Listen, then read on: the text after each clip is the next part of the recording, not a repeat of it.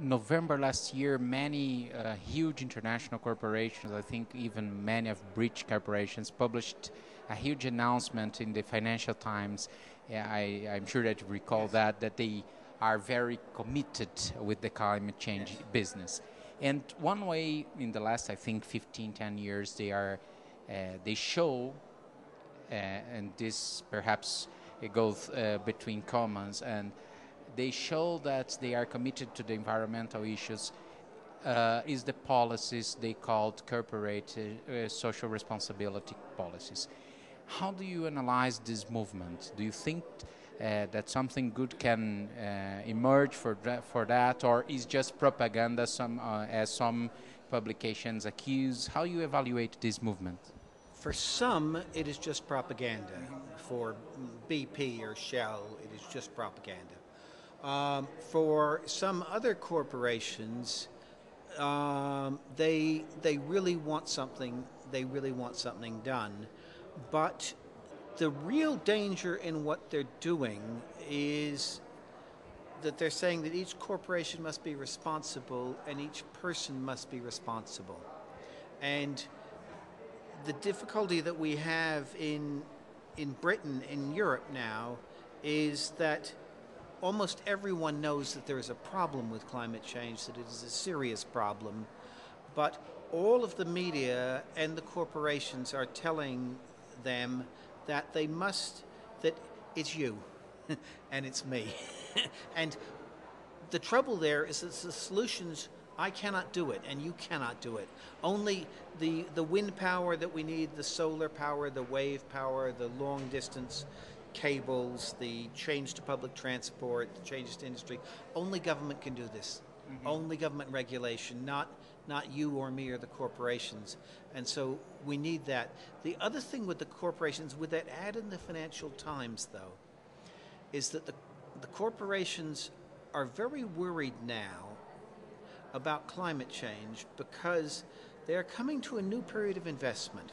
The investment, the energy investment in the big power stations, the hydroelectric, the uh, nuclear power, the coal power, the oil fired power stations, all of that investment is 20, 30, 40 years old. Mm-hmm.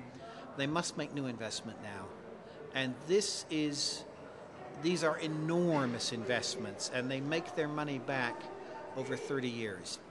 And so they must know their, their nightmare is that they will build new power stations now, and that then when climate change gets much worse, we will change the rules on them, and all of their investment will be gone, will be wasted. And so, with that ad in the Financial Times, they were saying to the British government, we want you to set better rules now, and we want them to last. Uh, we don't want to be trapped. And do you think that somehow this uh, oil barrel almost reaching $200.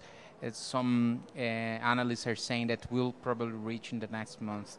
Can be some kind of uh, artificial force that the our societies will, in one way or other, they will must they will must uh, find new forms of energy, not because they believe that climate change is a real problem, but because they can't afford this way of life.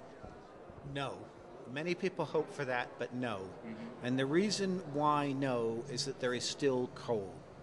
And in many countries, in Britain, in the United States, in Germany, in China, the government is changing from natural gas fired power stations, which is the cleanest fossil fuel, they're changing to coal. And that is even more carbon pollution. And also, there is now great investment in oil oil tar, oil shale mm-hmm. in Canada and some in Venezuela, and again, that that is enormous emitters of carbon.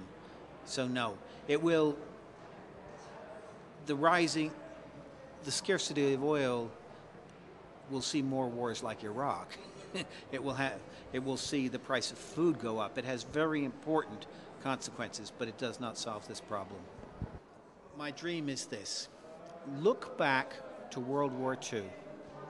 In World War II, every great power changed their economy to make as many guns and tanks and airplanes as possible to kill people to win the war. What we need is the same action by governments, but to save lives.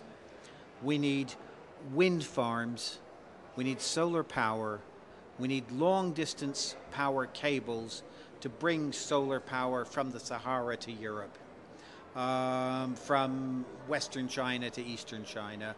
We need public transport. We need to stop using cement.